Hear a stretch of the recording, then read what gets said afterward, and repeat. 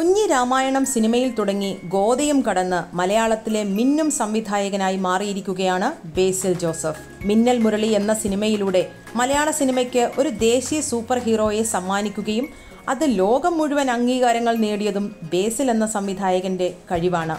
സംവിധാനം മാത്രമല്ലാതെ അഭിനയത്തിലും തന്റേതായ സ്ഥാനം അടയാളപ്പെടുത്താൻ ബേസിലിന് ആയിട്ടുണ്ട്. ജാനേമൻ ജോജി മനോഹരം കക്ഷി അമ്മിണിപ്പിള്ള തുടങ്ങി നിരവധി ചിത്രങ്ങളിൽ ബേസിൽ അഭിനയിച്ചിട്ടുണ്ട്.